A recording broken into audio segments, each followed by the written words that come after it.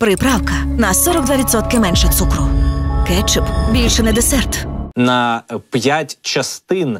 Е, Так званий президент Росії вважає, що Захід стоїть за спробою розділити Росію і саму Росію е, вони намагалися розділити і не приховували, нібито цього. Вони обговорювали це відкрито. Відкрито обговорювали. Слухайте, ну ми з вами це обговорювали. Це мрія кожної нормальної людини. Але ж ми це обговорювали вже після того, як Росія напала на власне колективний захід, а особливо на Україну. Е, Далі він ще розповідав про те, що єдинственним гарантом суверенітету і целісності України була Росія. І от з цього моменту я пропоную е, послухати пряму мову. Воно знаєте дуже допомагає, коли ти занадто е, концентруєшся на якихось. е, Проблемах таких, які викликають у тебе неприємні емоції. А от зараз подивишся на Путіна і згадаєш, заради чого це все і чому варто боротись до кінця. Будь ласка, увага на екрани, так званий президент Росії. тоже развязали там фактически войну прямо в 2014 году. Ну, я говорю откровенно уже, все, н- на самом деле, для тех, кто участвовал в этих событиях, не секрет никакой. Мы не делали ничего, но постепенно мы вынуждены были втянуться, чтобы людей защитить, чтобы их там всех не истребили.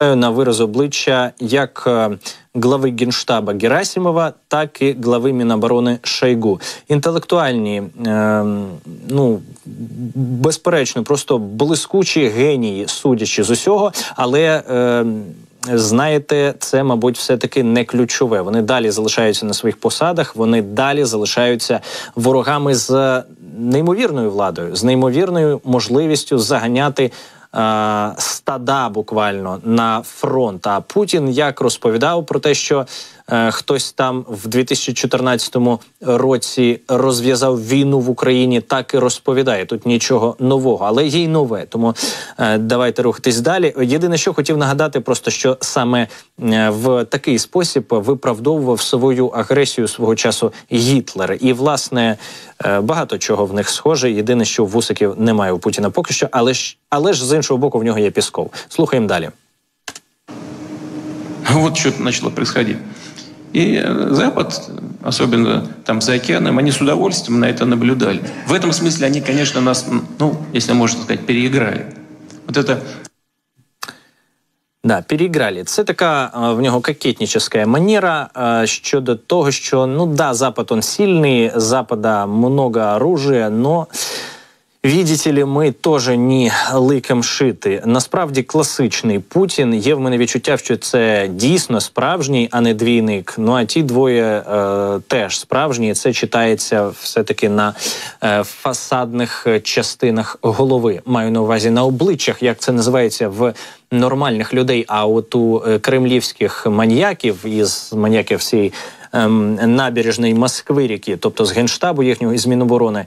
От у них е, так мені здається називається е, ця частина е, тіла. От власне, і ну що вам сказати, Путін не припиняє свою агресивну риторику. Він розповідає про те, що західні країни нібито працювали з російською п'ятою колоною, сепаратистами та міжнародними терористичними організаціями, намагаючись розвалити Росію. І тут мене звернення власне до цих е, західних, е, е, західних країн, агресорів, як він їх називає. А що ждем?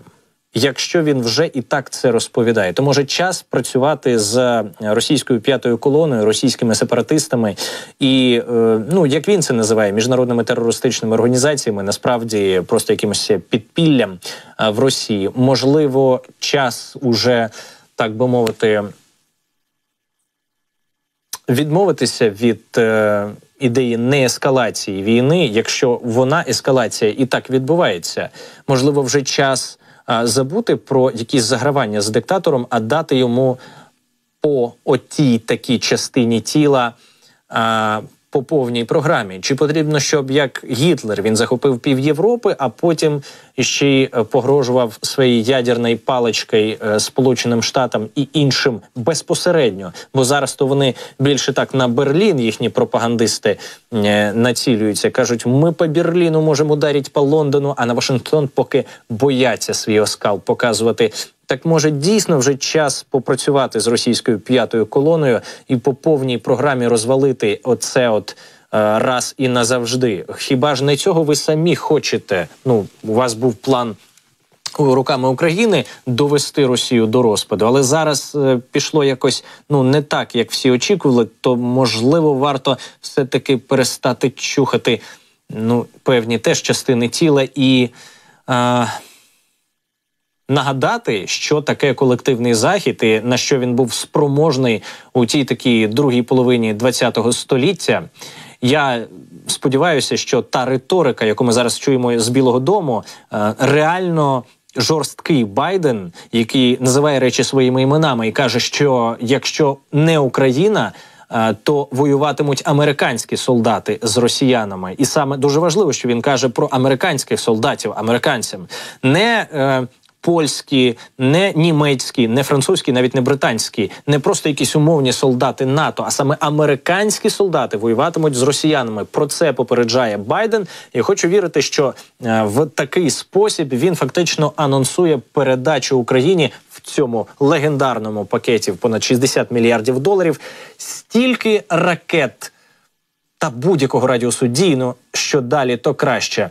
Що просто ну не залишиться там уже цього м'яса, готового йти на забій.